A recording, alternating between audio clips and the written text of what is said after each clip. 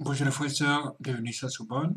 Nous sommes de retour pour de nouvelles révélations.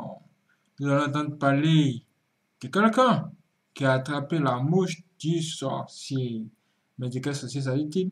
Nous allons tout découvrir ici au travers des témoignages que une jeune fille va nous raconter. C'est parti. Avant de raconter la première histoire, je voudrais euh, en même temps sensibiliser. Par moment, quand on part boire, bar, snack, peu importe, il y a des, souvent des mouches, des insectes qui entrent dans nos boissons. Tu enlèves et tu jettes. tu enlèves, tu, enlèves la bête et puis tu continues à boire ton vin tranquille. C'est euh, bon. Euh, euh, je vais dire, on peut, on peut zapper ça comme ça, mais en même temps, c'est des trucs qu'il ne faut pas négliger. Quand je vais raconter mon histoire, vous allez comprendre. C'est mon père qui me raconte, qui nous raconte l'histoire en fait. Il allait à un funérail et après, à un deuil, bref, de deuil funérailles, après avoir fait les tam-tams, machin truc là, au moment de manger, ils mangent bien, maintenant ils sont en train de boire. Ils sont assis, euh, il m'a dit, étaient au nombre de quatre ou cinq, bref, ils sont assis là, et chacun a sa bouteille en main. Chacun sa bouteille en main, ils sont en train de boire. Donc maintenant, parmi eux, parmi ceux qui sont en train de boire là, il y a deux qui sont sorciers. Et un, certainement, peut-être il n'a pas su que l'autre est aussi sorcier, je ne sais pas. Donc, il y a un qui envoie son totem ou je ne sais trop, en fait, qui envoie une mouche dans la bouteille de l'autre. Donc, la bouteille entre dans la bouteille, de, la mouche entre dans la bouteille de, de l'un d'eux et il voit, il sait que ce n'est pas une mouche ordinaire, vu que c'est un sorcier. Le gars sait que ce n'est pas une mouche ordinaire. Qu'est-ce qu'il fait? Il bouche la bouteille. Les autres sont en train de boire tranquille, mais lui ne boit pas. Il a fermé sa bouteille. À un moment donné, euh, la mouche dans la bouteille commence à s'étouffer parce qu'elle veut ressortir. Il n'y a plus d'air. On voit le monsieur qui a envoyé la mouche ne fait que gesticuler. Il gesticule, il gesticule, il gesticule. Il gesticule, il étouffe. Après, il tombe. Quand il tombe comme ça là, il sent que s'il ne parle pas, il va mourir. Donc il dit à l'autre que pardon, libère-moi. Donc les autres, ceux qui sont simples là, mon père, et les autres qui sont simples là, disent que mais libéré comme il y a quoi? Qu'est-ce qui se passe et tout et tout et tout? Il dit c'est lui qui me libère, je veux sortir de la bouteille. Donc quelqu'un est couché, tu sais, tu vois quelqu'un qui est couché en train de s'étouffer et il dit je veux sortir de la bouteille. Tout le monde est étonné. De quelle bouteille? C'est là donc où le monsieur qui a fermé la bouteille dit il voulait m'empoisonner mystiquement. Mais moi, je l'ai attrapé, j'ai fait. Mais le voici, il monte. La mouche qui est là, c'est lui qui est dans la bouteille. Je n'enlève pas. On a supplié le monsieur. Oh, il va mourir. Il dit que non, mais si je le laisse là, n'est-ce pas? Lui, il venait m'empoisonner pour, pour me tuer. Je ne laisse pas. Il va seulement mourir. il, a, il a fallu que le chef du village où ils étaient vienne intervenir pour qu'on libère, pour que le monsieur euh, enlève sa main sur euh, la bouteille et libérer la mouche. Donc c'était un peu, c'est ça, c'est ça ma, ma, ma, ma petite histoire. Vous voyez ça, souvent les sorciers font ça. Ils se transforment en mouche, en moustique, en cafard. Mais certaines personnes ne savent pas que ce sont les œuvres de la sorcellerie. Ha, méfiez-vous quand même. Faites très attention. Et même des souris. Faites très attention. Les souris qui bouffent les, les dossiers, le papier, c'est pas normal. Maintenant, nous allons écouter une deuxième histoire qu'elle va raconter. C'est parti. Je vais dire mon oncle, le mari de ma, de ma tante. Ma, tante, la, la sœur consanguine à ma mère, qui entre dans la sorcellerie sans savoir. Le truc, c'est quoi? Le monsieur, il perd son boulot. Quand il perd son boulot, il est dans une pauvreté extrême. Il a de la peine à nourrir ses deux enfants, y compris sa femme. C'est très compliqué. Donc maintenant, son voisin et ami vient lui dire que, ah mon cher, j'ai une réunion dans laquelle je peux t'intégrer. Je vais parler avec eux. Vu la situation que tu es en train de traverser, je vais m'arranger à ce que dès que tu en as la réunion, on va te donner de l'argent pour que tu puisses investir. Et quand tu vas être prêt, tu vas rembourser. Il dit, ok, je vais en parler à ma femme. Il part, il en parle à ma tante que voilà ce que le voisin me propose. Elle dit, ah, c'est bien, mais il faut lui demander, est-ce que derrière ça, il n'y a pas de conditions? Ne pas voir le monsieur dit, est-ce que c'est quelque chose de simple? Et que non, moi, je vais t'aider, regarde comment tu misères. Tes enfants n'arrivent même pas à aller à l'école et tout. Moi, je veux juste t'aider. C'est comme ça que mon oncle accepte finalement l'aide. On lui donne, et le monsieur l'amène à la réunion. Arrivé à la réunion, il est bien reçu. On lui remet une grosse somme d'argent va te débrouiller. Tel nous a dit ce que tu traverses. Nous sommes généreux, on veut t'aider, machin, tout et tout et tout. Donc voilà l'argent. Va et multiplie ton argent. Le monsieur est parti en bon bamileke. Qu'est-ce qu'il a fait? Il a ouvert une boutique. Il avait sa boutique et ça tournait très bien. Ça tournait vraiment bien. Et étant vraiment reconnaissant envers le monsieur, même ma tante lui disait que non, l'argent que nous sommes en train de gagner là, il faut pas que le moment où ils demandent leur argent, qu'on ne soit pas capable de les rembourser. Donc la première des choses, c'est de retirer, quand dès qu'on fait un bénéfice là, on retire, on retire de telle sorte que on puisse avoir l'argent que tu as que tu as pris là, que tu puisses avoir ça et mettre même un, un, un surplus dessus. C'est parce que les messieurs n'avaient pas dit tu vas nous rembourser avec intérêt ou machin truc et tout. Non, le gars a travaillé son argent, il a multiplié, il a gardé l'argent de côté jusqu'à mettre même le surplus. Maintenant, il attend qu'on lui dise qu'il faut rembourser parce qu'il est prêt. Il est prêt à rembourser. Il attend qu'on lui dire que bon, l'argent là, il faut que tu rembourses. On ne l'appelle pas, on ne lui dit rien. Les années, bon, je dis une année et plus même ça passe. Maintenant, son voisin vient lui dire que ah, c'est ton tour de, de rembourser, il faut que tu, tu rembourses l'argent. le gars dit ok, il y a pas de problème, tu me dis seulement moi je suis je suis prêt, hein, je suis prêt, l'argent est déjà là. Le monsieur n'ayant pas le courage de lui dire que comme tu vois là, je t'ai envoyé dans un truc qui n'est pas bon. Il lui dit tout simplement, viens avec une chèvre blanche et deux poules, noires, un truc comme ça là. Mon oncle va voir ma tante, la sœur de ma mère. Il lui dit, ah, vraiment, les gens là me demandent une chèvre et la poule maintenant, se dit que, mais c'est petit. Avec tout ce qu'on t'a donné là, vraiment, va, achète même deux chèvres ou trois chèvres même et un cajot. Tu vois, au, au, pays là, les, poulets viennent dans les, les, les, cajots. Et tu achètes même un cajot de poule de village. C'est ce que mon oncle est parti faire. Il a acheté trois chèvres, un cajot de poule. En plus de cela, l'argent. Donc, il arrive à, à la réunion euh, content et tout. On dit, bon, monsieur, voilà, c'est votre tour de rembourser. Il prend la parole. Il donne les éloges à tout le monde. Vraiment, merci. Vous m'avez sorti de la galère. Grâce à vous, je vis bien. Mes enfants vont à l'école, machin, truc et tout et tout. Vraiment, voici votre argent. Le gars dépose l'argent. Voilà le surplus au-dessus pour vous dire merci. Le monsieur, dans le chef de la réunion, le regarde. Il regarde le monsieur qui a fait venir mon oncle dans la réunion. Il dit, mais attends, il y a un truc qui se passe. Tu ne lui as pas expliqué. Le monsieur tremble parce qu'il ne sait pas comment il va dire à son ami que comme tu vois là, ce qu'on te demande, ce n'est pas ça.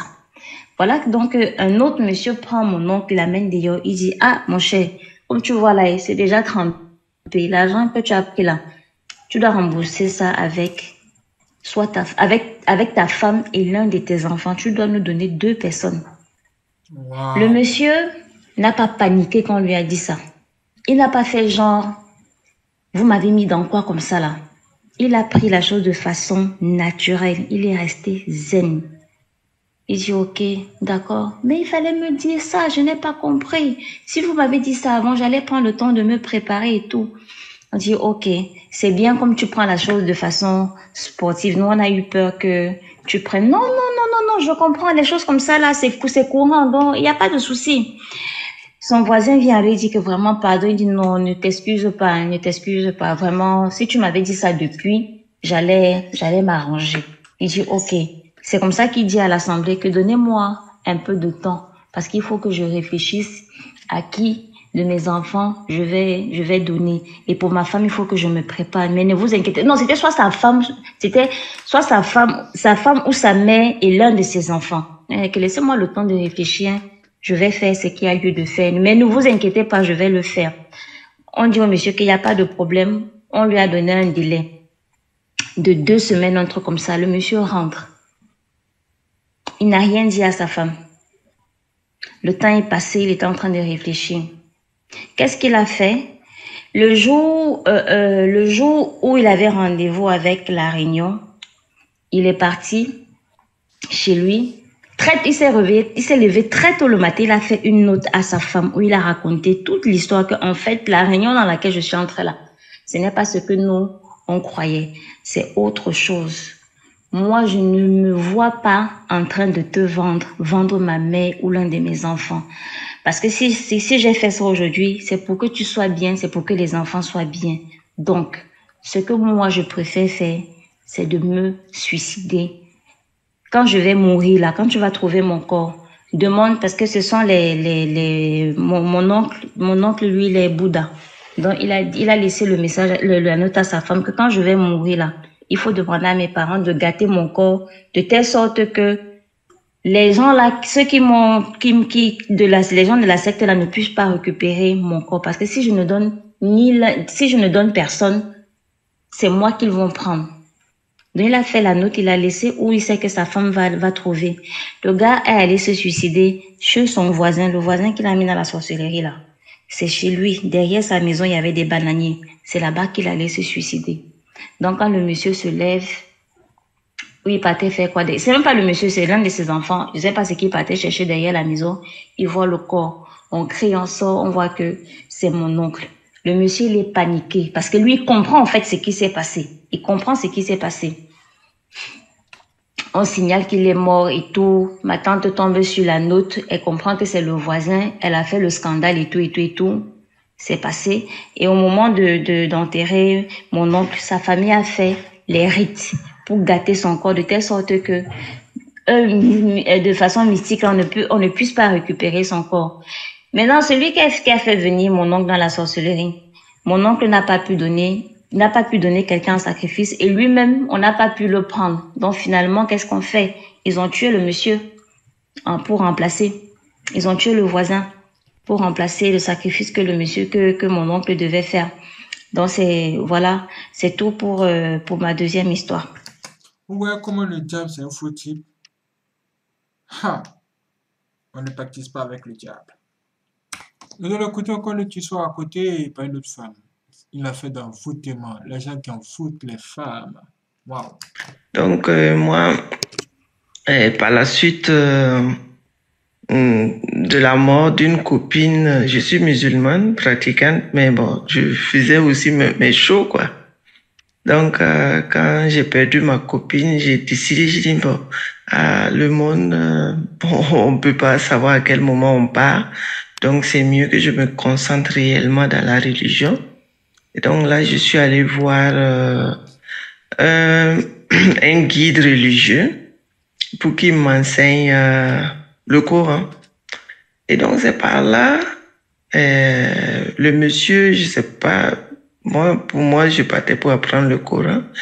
Et lui, c'était vraiment, je sais pas, il voulait de moi. Et moi, je n'ai pas compris. Ça a été très rapide.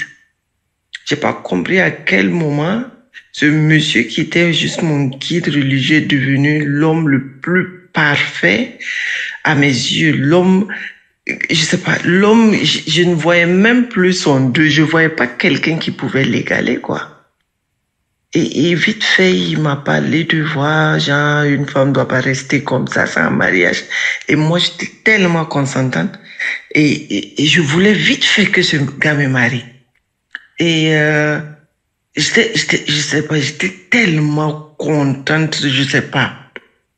Et euh, quand j'ai voulu présenter le monsieur à une copine, la copine est rentrée dans ma chambre, elle a pleuré comme c'était pas permis. Elle me dit non, ce monsieur c'est pas, c'est pas de ta catégorie, non non non, non ça c'est pas ton mari. Et moi je lui ai dit non, arrête-moi ce cinéma si le monsieur n'est pas mon mari. Je suis sûr que ça va pas durer ce mariage. Et moi, je sentais, je voyais dans les yeux, dans les yeux de ma maman aussi qu'elle n'était pas contente. Mais elle disait rien. Elle était là et regardait. Mais d'autres personnes dans la cour étaient consentantes. Parce que le monsieur, on dirait, quand il est venu, il a amené des petits cadeaux et acheté tout le monde, quoi. Mais quand on regardait dans mes yeux, je sais pas, on voyait des larmes de joie. J'étais trop contente d'être avec ce gars qui n'était même pas du tout. On se ressemblait il n'y avait même pas un point qui nous, qui nous liait. Et vite fait, en six mois de connaissance, ou bien je sais pas, c'est cinq mois, le mariage a été fait. Quand le mariage a été fait, le même, le monsieur même avait un, eux avait déjà une femme. La femme était, la femme était fâchée, je sais pas. Mais, quand je me suis mariée, et pendant le mariage déjà, j'interdisais tout le monde dans la cour. Je dis, je ne veux pas que vous lui demandiez quoi que ce soit. On fait avec les moyens de bord. Tout ce qu'il va amener, c'est ce qu'on va faire. Et voilà, voilà, voilà. Tellement je voulais seulement que le mariage soit fait. Quand c'est fait, bizarrement, c'était compliqué pour nous même de consommer ce mariage. Et après, il me présentait partout. Et quand je passais, là où il m'amenait, les gens me regardaient, genre, bon, c'était pas sa place, celle-là, là. Et d'autres même venaient dire, ah, le monsieur là. Parce que moi, je travaillais vers là-bas, vers euh, son, vers leur coin, quoi. Et beaucoup nous voyaient, les gens de mon, vers mon service nous voyaient, ils disaient, mais bon, ce monsieur là, ce qu'il a fait à la fille, c'est pas normal. Parce que cette fille, elle a connu les boîtes, elle a fait des trucs, et toi, tu n'as jamais, tu n'es, vous n'avez jamais pris la même route, même. Comment ça se fait que vous vous retrouvez aujourd'hui marié? Et moi, j'étais, euh, je, je, dans mon travail, je partais voir des clients. Et il y avait une dame, une de mes clientes euh, avec qui je causais. En temps, j'ai eu des, j'ai eu des sentiments comme si j'étais pas à ma place. Alors j'ai dit à la dame, j'ai essayé de raconter l'histoire à la dame. Et la dame me dit, ah, que bon, elle aussi, elle a vécu la même histoire. Parce qu'elle, elle, s'est mariée avec euh, un, chef de canton. Et c'était quand vous la voyez, c'était une, une, jolie dame comme ça, qui n'avait rien à voir avec euh, un chef de canton, qui avait déjà deux femmes. Mais elle dit quand elle s'est réveillée du mariage, c'était quand elle était enceinte de trois mois. Et là, elle a, elle a pleuré de ces trois mois de grossesse jusqu'à l'accouchement. Parce qu'elle, elle, elle se retrouvait pas. Elle dit, mais qu'est-ce qu'elle fout avec ce monsieur? Mais ce monsieur, pour la garder, a tout fait pour, euh, je sais pas, pour la calmer. Le monsieur lui a donné des cadeaux, des quoi, quoi, quoi, et puis elle est restée. Mais par fini, elle est restée, euh, quand moi je l'ai connue, elle était déjà dans son, euh, je peux dire dixième, dixième année de mariage. Et elle m'a parlé d'un petit livre là. C'est un livre d'invocation dans la région musulmane. Quoi. Elle m'a dit d'aller à la mosquée et si je trouve le livre, de prendre et en rentrant et pour savoir même que le monsieur va pas euh, m'a déjà fait quelque chose, de lui parler du livre, je vais voir ce qui est sa réaction.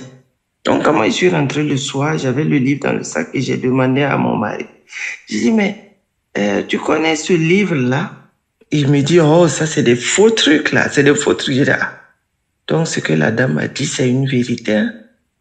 Et la dame m'a dit, lis tout ce qu'il y a dans le livre et tu commences dans tes prières, tu, tu, tu, tu appliques ça. Et donc, à partir de ce jour, moi, quand je prie le matin, je prends tout mon temps pour faire mes invocations. Je vous assure, j'ai passé, je n'ai même pas fait deux semaines j'ai pas fait deux semaines d'invocation. Chaque matin, les soirs, j'étais concentré. Parce qu'il fallait que je vois la vérité dans ça. Je vais pas perdre mon temps dans un truc où je ne suis pas allé volontairement. Voilà, donc euh, j'ai passé tout mon temps à prier, à faire des invocations. Et en deux semaines, en moins de deux semaines, c'est le monsieur lui-même. C'est le monsieur lui-même qui est venu il est venu de lui-même comme ça, faire des choses. il m'a dit, voilà, tu me respectes pas. Et, voilà, il a envoyé un truc, quoi. Il a commencé à faire des bagarres, alors que moi-même, comme ça, j'avais peur de lui. J'avais le grand respect et puis cette peur. Parce que, bon, il connaissait des choses que moi, je connaissais pas. Et donc, le matin, Normalement, quand il venait chez moi, il faisait sortir ma moto et puis il vient me faire bijoux là. Le jour là, quand il est arrivé, il n'est même pas venu me faire bijoux. Il est resté là. C'est moi, j'ai fait sortir ma moto. Je suis allé au boulot. Après, je reçois un message où il me dit, ah, j'ai constaté que tu me respectais pas. Et pour le moment, on va, on va observer un, un, un moment de, euh, euh, qu'on va, qu'on va observer une pause jusqu'à euh, jusqu'à ce qu'on change, euh, jusqu'à ce qu'on gagne une nouvelle euh, solution. C'était un lundi. Et quand j'ai reçu le message, ça m'a fait un choc. Je dis, mais c'est quoi ça là encore? Bon, Comme ça vient de lui-même, le lendemain matin, quand j'ai fini ma prière, je l'ai appelé, j'ai dit, mais bon, j'ai vu le message, et qu'est-ce que ça veut dire exactement?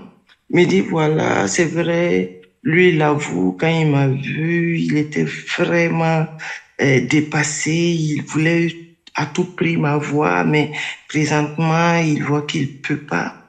Il peut pas me gérer des. Et ça, c'était moins de trois mois de mariage. C'était dans le troisième mois de mariage. Je dis, ah, ok. Je dis, mais bon, c'est pas grave. Comme moi, je, comme chez nous, on dit quand quelque chose n'est pas gâté, c'est que ça appartient toujours à la personne. Et moi, je suis pas enceinte de toi. Je suis toujours moi-même. Et donc, euh, ce que je peux faire seulement, c'est garder ma maison et puis voilà. On a, on s'est décidé le jour-là de se séparer de façon amiable. Voilà.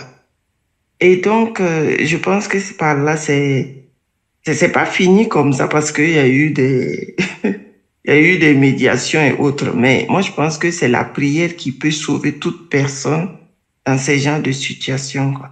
Il faut toujours prier, que tu sois catholique ou je sais pas ta religion, quelle que soit ta religion, faut juste prier et quel que soit le sorcier qui sera en face de toi, je pense qu'il sera désarmé à la fin.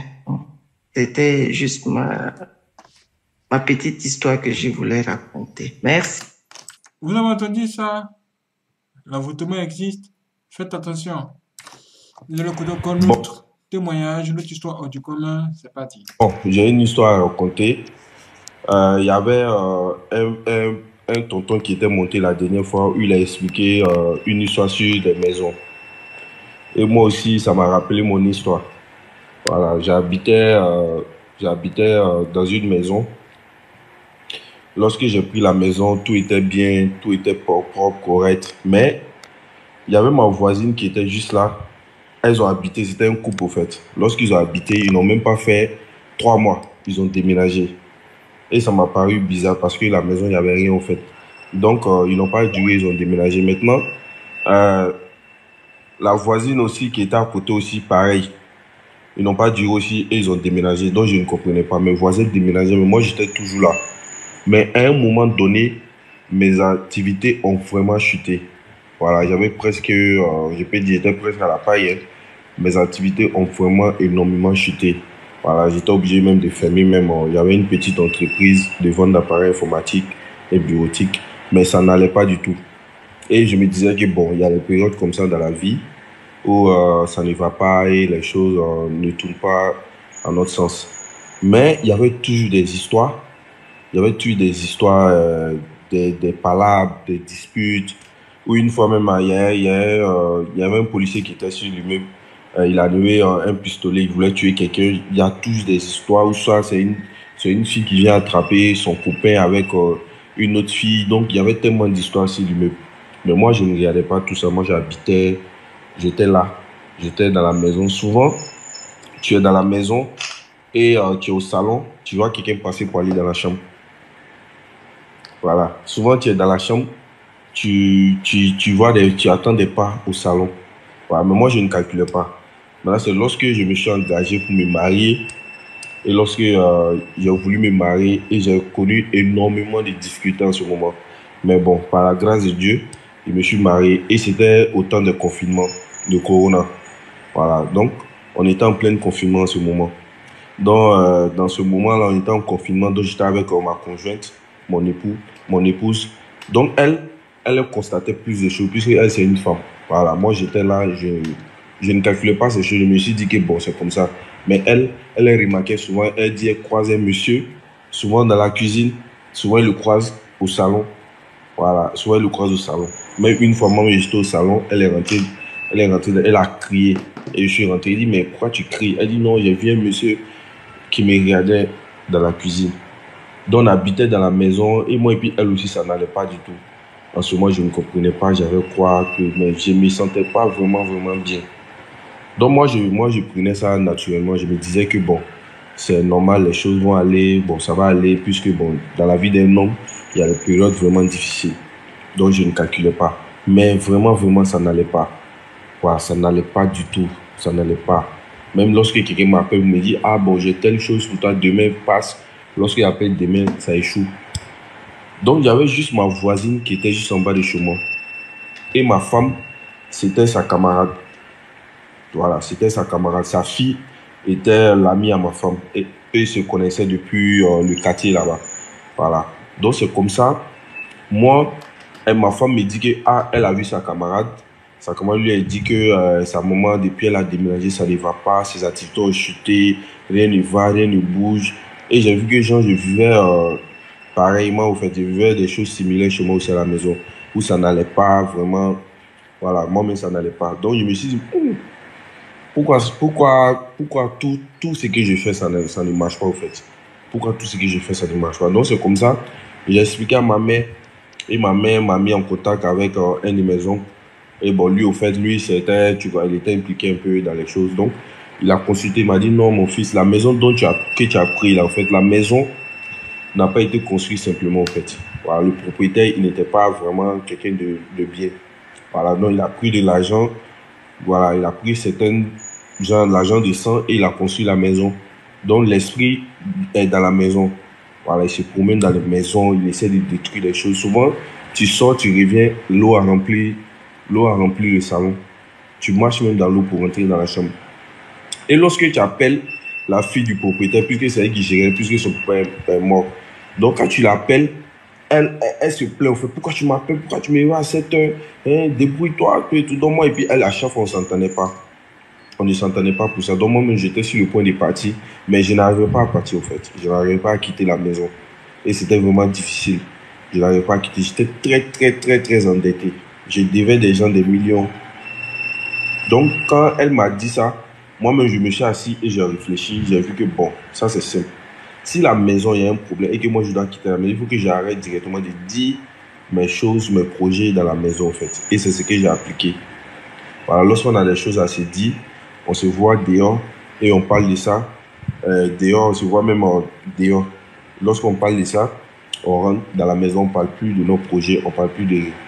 Et c'est comme ça, je me suis débrouillé, j'ai déménagé. Lorsque j'ai déménagé, pour déménager même encore, j'étais obligé de verser la caution en deux fois, puisque je n'avais pas toute la caution. Voilà, donc pour déménager, j'étais obligé de verser euh, la caution en deux fois. Et lorsque je voulais partir, il y a des choses qui ont commencé à se passer. Il y a des gens qui viennent taper, euh, qui viennent taper euh, la porte. Lorsque tu ouvres, tu vois personne. Donc je me suis plaint auprès euh, encore de la propriétaire pour dire Ah, mais je ne comprends pas. Donc moi, je lui ai dit Je partais. Elle dit Non, je ne veux pas que tu pars. Même elle-même, pour venir encaisser son loyer, il faut qu'elle fasse palabre. Elle doit faire palabre d'abord avec le locataire. Tellement que ça ne va pas. Les gens prennent des maisons, ça ne va pas chez eux. Souvent, ils se cachent pour sortir à, 8 heures.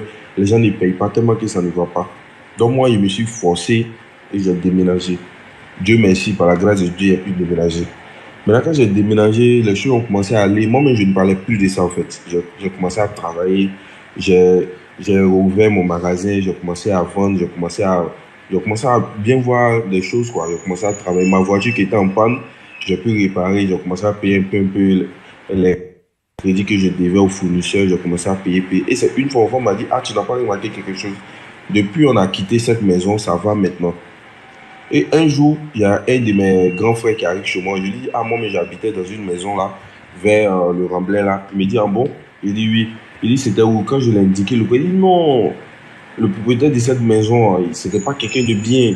Toujours, il faisait des histoires avec ses locataires. Il faisait, toujours, il venait, il faisait des histoires avec ses locataires. En un point fini.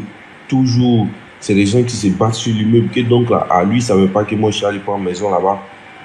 Donc, lui, n'allait jamais me laisser prendre maison sur euh, ce genre d'immeuble, au fait. Parce que l'immeuble même a une histoire, au fait. Donc, c'est pas possible d'habiter sur euh, ce, ce, genre d'immeuble. Et c'est comme ça, il dit, ah, moi, je suis quitté là-bas. Moi, je suis plus là-bas. Et malgré qu'on a déménagé, toujours on entend des histoires qui se passent là-bas. C'est l'immeuble. Voilà, on entend des histoires qui se passent. Souvent, c'est des incendies. Souvent, c'est des, des querelles même à, à un point fini, au fait. Voilà, vraiment, ce que j'aimerais dire, c'est que lorsque tu veux prendre une maison, prends la peine d'abord de bien réfléchir. Si ce n'est pas une nouvelle construction, les anciens locataires cherchent à le voir. Ah, mais pourquoi vous avez quitté la maison? Parce que lorsque moi j'ai quitté, une fois que je suis allé récupérer mes, affaires, j'ai vu un de mes amis. Bon, c'est pas mon ami proche, mais on se connaît, puisque bon, on se connaît à peu près, tout le monde se connaît dans la commune. Donc il m'a demandé, ah, mais pourquoi dans la maison tu l'as laissé Mais comme la propriété était là, donc je ne voulais pas trop parler. Donc j'ai laissé, quand elle a bougé, je lui ai dit non, à la maison, ne prends pas la maison, parce que la maison, si c'est pas, c'est pas trop ça, faut pas tu vas prendre la maison. Cherche une bonne maison, mais faut pas tu vas prendre cette maison. Et lui, il venait se marier aussi, il venait se marier. Donc quand je lui ai dit ça, il a laissé, il a pris une autre maison. Quelqu'un d'autre a pris la maison. Mais vraiment, si tu veux prendre une maison, réfléchis bien. Et lorsque tu prends la maison, soit tu demandes aux voisins, ah mais pourquoi telle maison ils ont libéré, ne te joue pas les, je vais dire ça comment, les coincés, gens, tu ne salues pas les voisins, cause avec les gens et demande. On ne sait jamais. Peut-être que tu vis quelque chose et tout le monde vit pareil. Mais le fait que tu ne causes pas avec les voisins, personne ne sait que euh, tout le monde souffre. Fait. Tout, le monde se, tout le monde se donne une image de, de quelqu'un où ça va alors que tout le monde souffre. Donc souvent, c'est le cas. Lorsque tu veux prendre une maison, prie beaucoup, regarde beaucoup de choses. Si c'est possible, même si tu es un pasteur, un imam, appelle-le, il va venir dans la maison, il va prier d'abord.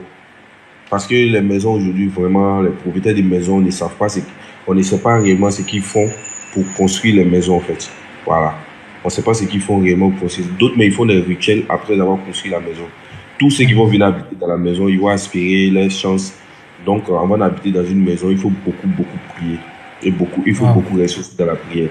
Donc, bon, c'était ça mon histoire. Waouh, vous avez entendu ça? Incroyable, frère. Nous aujourd'hui, je vais raconter mon petite histoire. Pour moi-même, j'ai vécu. J'ai vécu. Ce n'est pas que c'est l'histoire de quelqu'un. Bon, euh, il fut une année, euh, je suis allée vivre quelque part. Euh, J'avais ma voisine là, avec sa, avec son mari était aussi là. J'avais aussi euh, l'une de mes copines qui vivait aussi à côté parce que nous, tous, nous étions en location. Voilà que euh, tous les jours quand j'arrivais chez ma copine, je trouvais toujours que euh, sa voisine, le mari, son mari la frappait toujours. Souvent, son mari ne lui donnait pas à manger. Elle avait, elle avait fait un, un bébé. Souvent, l'homme sort comme ça, l'homme ne lui donne rien à manger.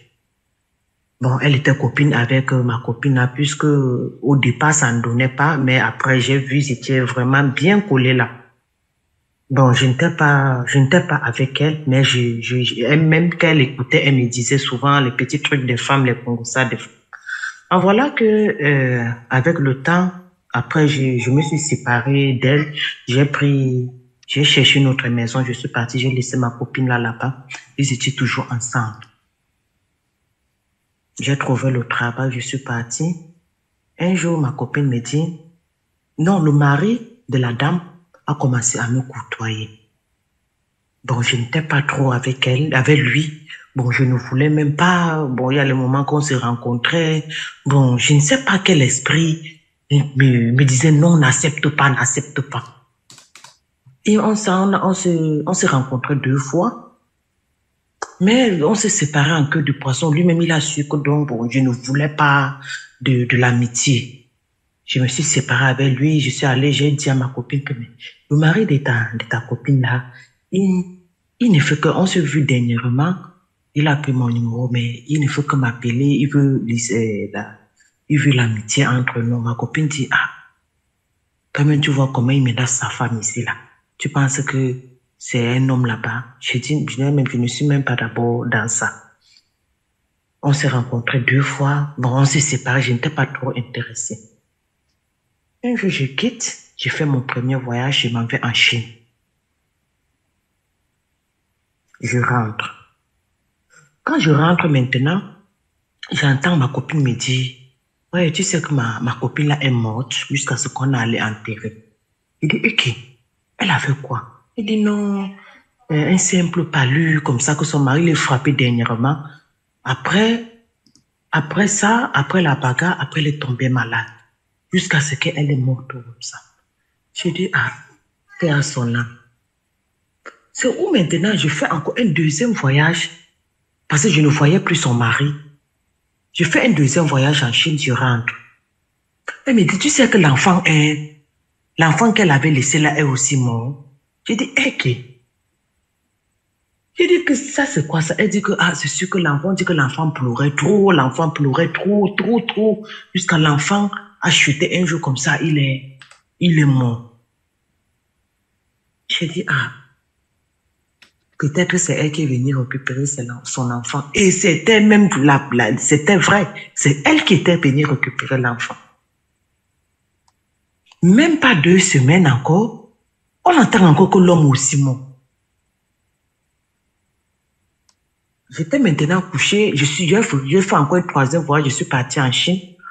Bon, à l'hôtel en Chine maintenant, je suis couché, je vois seulement, je suis dans les rêves. Je vois seulement la dame vient, elle entre, elle vient s'asseoir près de moi. Là, je dis, c'était dur comme ça, c'était tellement difficile. Je, dis dans les rêves comme ça, mais je transpire. Eh bien, elle, elle pousse mon pied. Elle s'assoit, elle me dit, je suis venue te voir. J'ai dit oui. Tu es venu me voir pourquoi Je ne te connais pas, je ne t'ai pas mis avec toi. Tu es venu me voir pourquoi Je suis venu te voir pour te demander si tu as sorti avec mon mari. J'ai dit, Aka, si c'est que tu, si c'est que tu suis les gens qui sortaient avec ton mari là, ce que tu peux déjà comprendre que moi je ne suis pas sorti avec ton mari. Même si ton mari pourrait derrière moi, je ne suis jamais sorti avec ton mari. Elle dit, ok, c'est seulement ce que je voulais connaître. Parce que où je suis là, je marche, je cherche toutes les femmes qui ont sorti avec mon mari. Tiens, j'ai dit que je suis sorti dans le sommeil, dans le rêve, dans les rêves comme ça. La chambre était dure.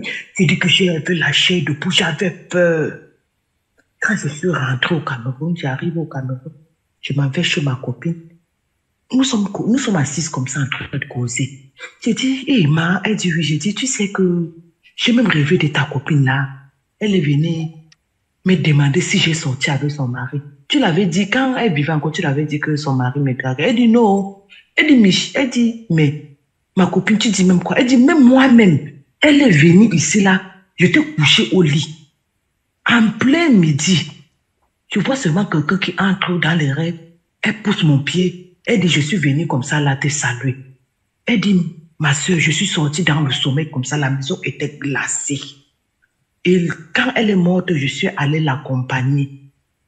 La manière qu'on l'a enterrée, on l'a enterrée dans l'eau puisqu'elle ne voulait même pas, elle ne voulait même pas qu'on l'enterre. Quand on creusait le trou pour l'enterrer, l'eau montait. On, enlève l'eau.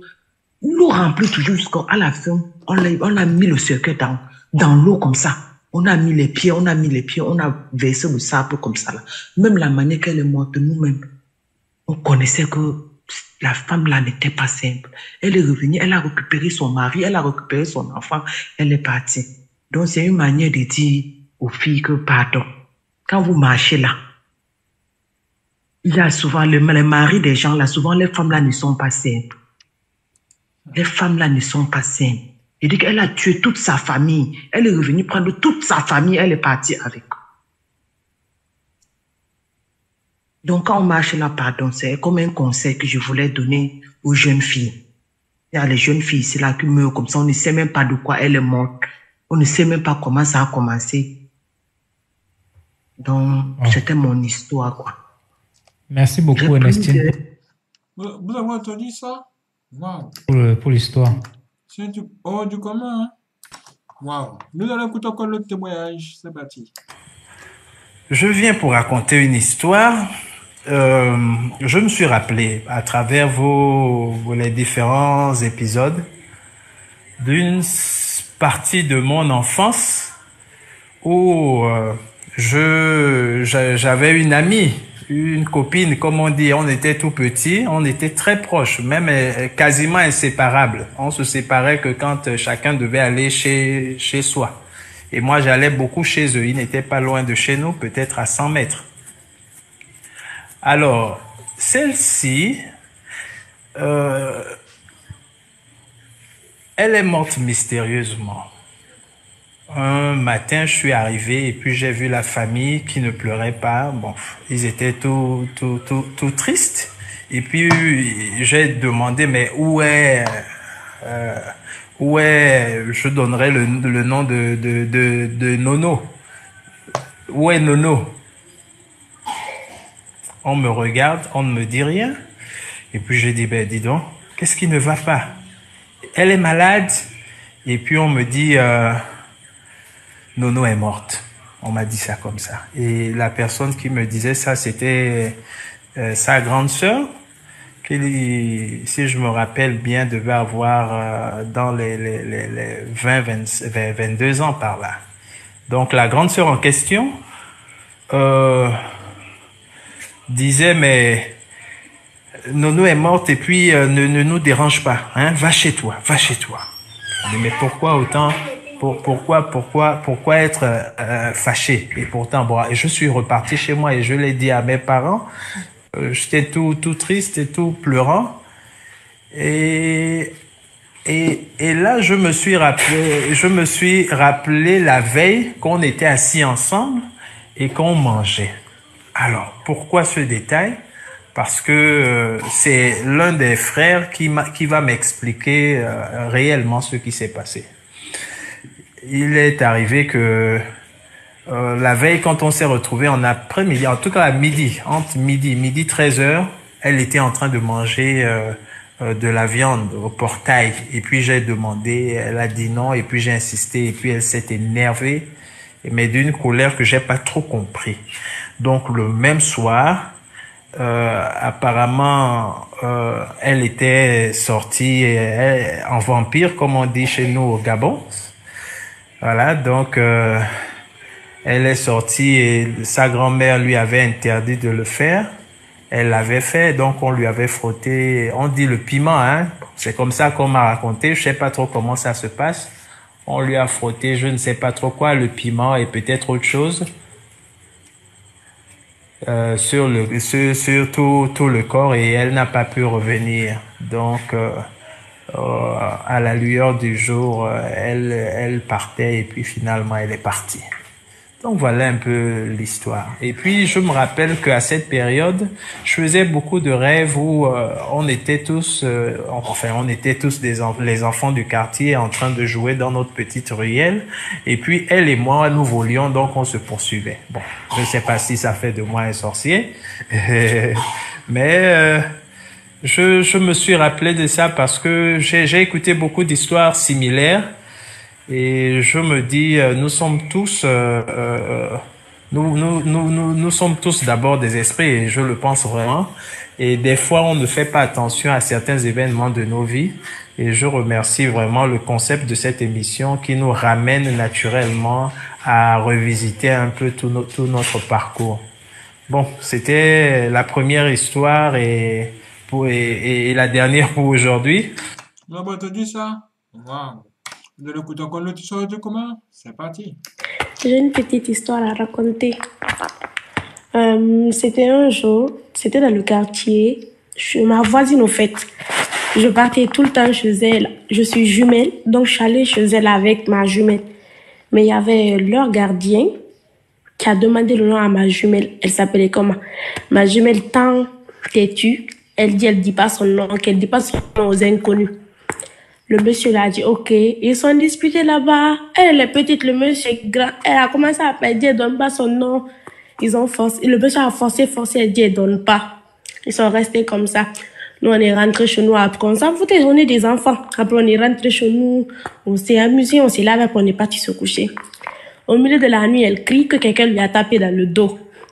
Moi, je dors. Ma tante qui est à côté dort. On s'est tous réveillés, on l'a regardé. On lui a dit, qu'est-ce qui se passe? Après, il y a ma mère qui est venue, qui lui a demandé, dit quelqu'un lui a tapé dans le dos. Après, ma mère lui a demandé qu'est-ce que tu as fait dans la journée? Après, elle a raconté tout à ma mère. Après, il y avait ma mère qui a dit à sa copine, la dame a fait le lien avec le monsieur. La dame a dit, allez parler au monsieur là de la laisser en paix. Le monsieur est allé lui voir. Après, toutes les femmes du, du quartier sont allées voir le monsieur, l'ont insulté. Qu'est-ce que tu fais derrière un enfant? Laisse-la, laisse-la.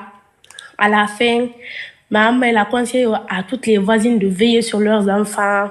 Après, ils ont viré le monsieur parce que ma maman est amie avec la copine de ma maman. Ils ont viré le monsieur.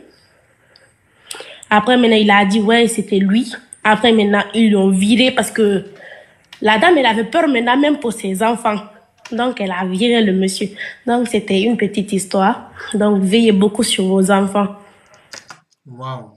Nous allons écouter encore notre histoire du commun. C'est parti. Bon, cette histoire que je vais raconter, c'est une histoire euh, vécue par moi-même.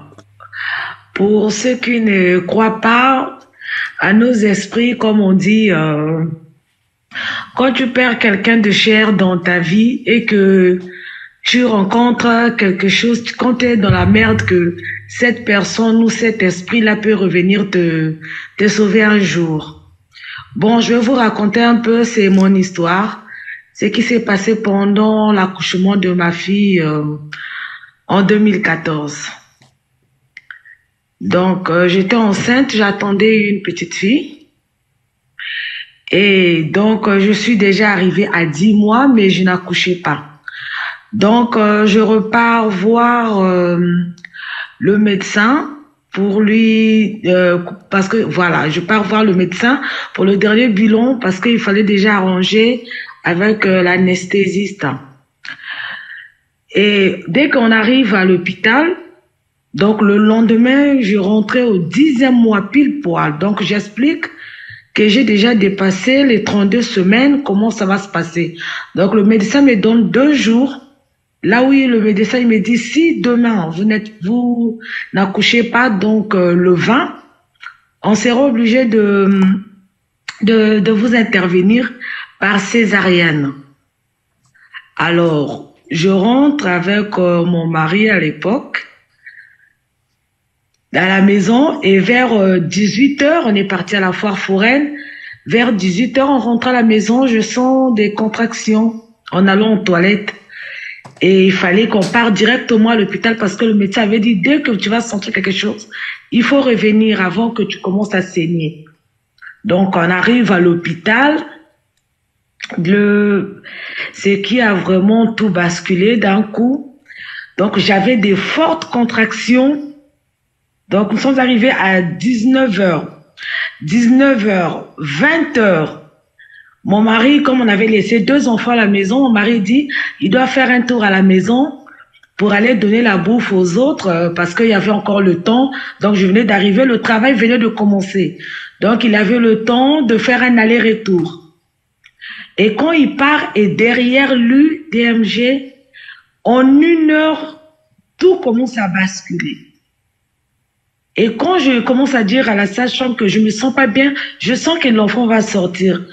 Mais la dame, le docteur me dit, mais non, madame, vous venez d'arriver, même pas deux heures, vous pouvez pas accoucher maintenant. Il y a encore du temps. J'ai dit, mais moi, je commence à sentir l'enfant là. Il faut me, changer de, de salle. Parce que le travail a déjà commencé. dit à peine, vous étiez qu'à un doigt, donc on ne croit pas. À cinq doigts, on ne croit pas que vous êtes déjà à un doigt pour mettre au monde. Et ça a commencé à tourner, ça a commencé à tourner. À un moment, ils ont dit non, la dame tellement qu'elle incite, parce que je devais accoucher par euh, péridurale.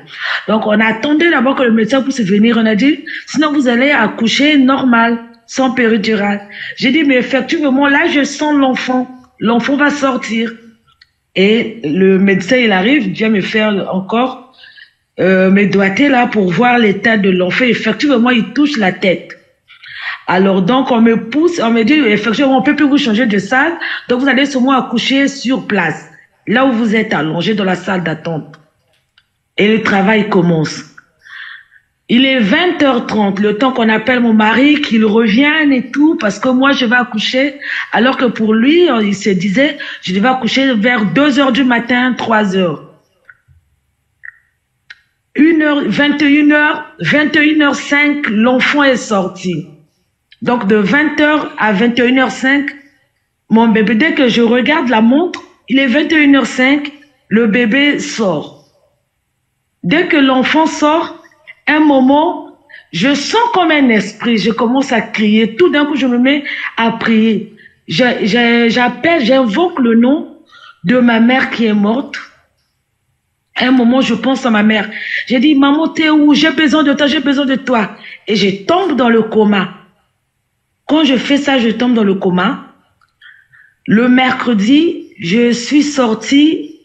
Le lendemain, je me réveille le jeudi. Et quand tout se déroule, je suis dans le coma. On m'emmène euh, faire les... Parce que vous savez comment ça se passe en France. Euh, même si votre mari n'est pas là, mais il y a des gens, il y a des médecins qui doivent vous assister, aller vous faire la prise de sang et tout, votre euh, euh, signe sanguin, il faut vous euh, transférer et tout. Donc, euh, tout se passait, j'étais seule, mon mari n'était pas là, juste avec les médecins. Dès qu'il arrive, donc on appelle en catastrophe, il arrive, mais votre femme, elle est en coma. Comment ça? L'enfant est déjà né et tout. Donc, c'est ma belle-mère qui arrive avant mon mari, qui a habillé l'enfant et tout.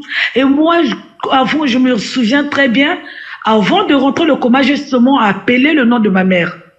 Quand j'ai invoqué ma mère, j'ai dit, maman, aide-moi, j'ai besoin de toi. Viens. Et c'est là où je suis partie. Et au réveil, quand je me réveille le lendemain, jeudi à 16 heures, et les médecins, je vois au moins plus de 10 médecins autour de moi qui viennent me féliciter.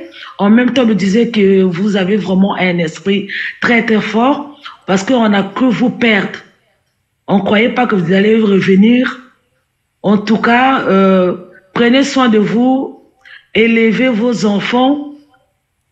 En tout cas, vous avez eu de la chance. On ne sait pas sur 10, 10 cas pareils, on ne sait pas combien on peut avoir votre chance là de survivre.